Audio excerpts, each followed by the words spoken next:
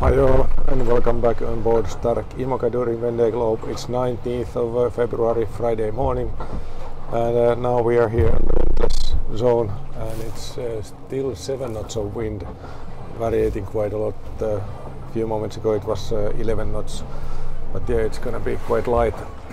Anyway, sea state is also quite nice. It's calm, so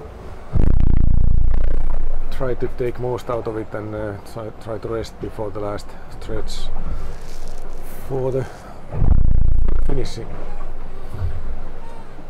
All good on board. I got some uh, during the night and uh, boat is working nicely.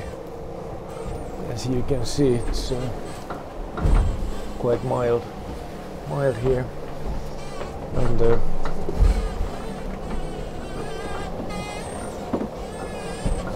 be some uh, clouds and squalls for sure during the day.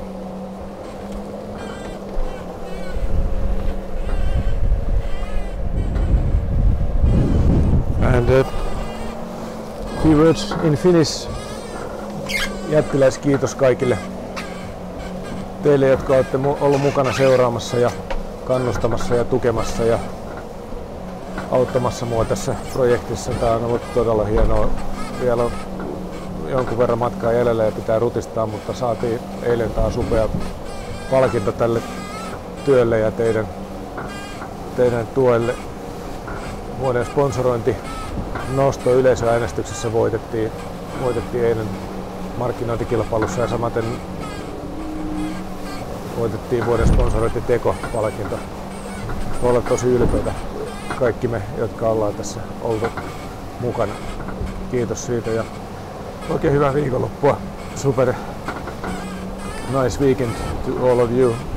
Try to enjoy and relax and uh, take most of out of it and stay tuned. See you soon on board again.